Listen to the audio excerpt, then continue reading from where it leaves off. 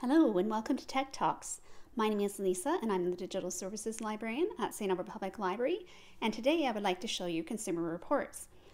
So the way you get to that is you go to our website sapl.ca and you're going to click on eLibrary. We're going to do that right now.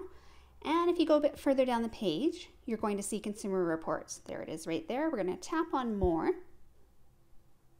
and this just gives you a bit of detail about what Consumer Reports magazine is, how to access it, and the privacy policy in terms of reference. So we're just going to tap on how to access to open it up.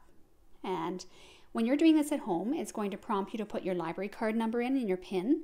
Your library card number is the number that starts with five twos, and don't put any spaces in. Put that full number in with no spaces.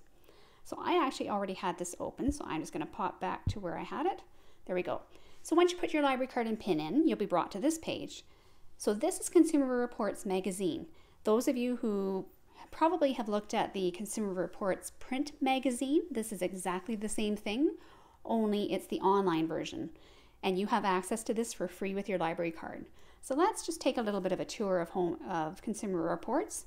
So this is the landing page. This will give you a bunch of different information right on the front. You can search by keyword. So let's try doing that. Let's do, how about we'll look at dishwashers. There we go. And we're going to search. So I searched for dishwashers keyword. So it brought up everything about dishwashers. It has an overview, the ratings. Let's take a look at that. That's probably a popular feature that you'll be looking for are the ratings. So this might look familiar if you've looked at the print version of Consumer Reports magazine. So you've got the normal everyday kind of overview of the ratings what's good, the different brands, the product reliability, all the things that you would see in the regular magazine. So you might find that handy. They also have recommended. So if we tap on that, this is where Consumer Reports actually talks about what they recommend and what's been recommended for, for dishwashers, and they're all rated excellent. So that is how you use that piece.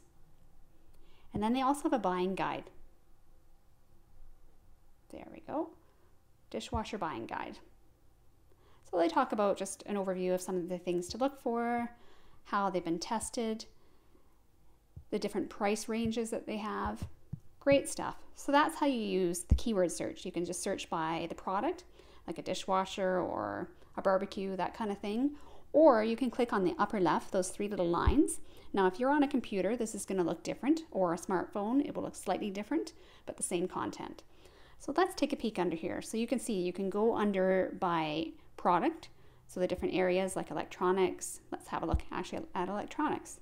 So let's say you're in the market for a new computer. We're going to tap on that. And then it brings up different types, so whether it's laptop, desktop, Chromebooks, uh, tech support and in tech support. Interesting. So they also have that as well. So that's kind of a handy thing. So exactly like the dishwasher, we're going to tap on laptops they also have the buying guide and the ratings. Here we go. And here are the ratings.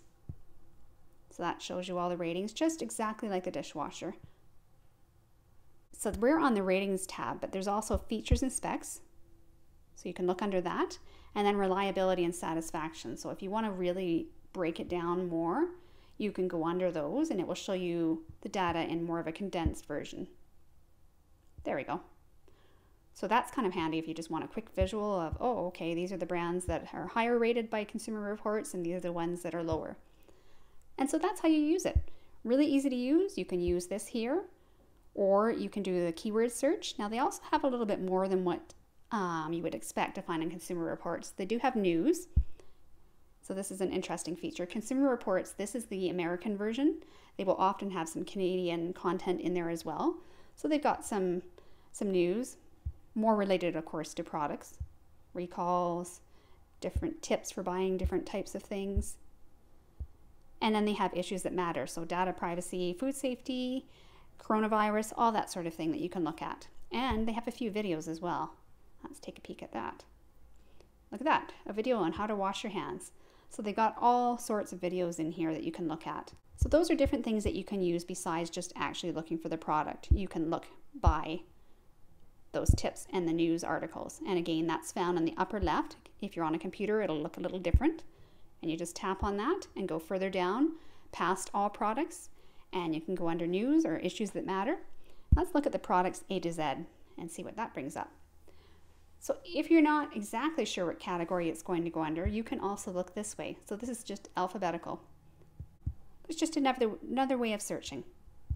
And if we if we filter it down by cars, then it's going to really zone in on what type what part of the car are you looking for, the battery or actual cars. It's a really nice way to get it filtering down to what you really are looking for. And that is consumer reports. So while you can't access the print version in the library right now, you have full access to the online version, which has all the same content that you would find in the magazines, and it's all free with your library card.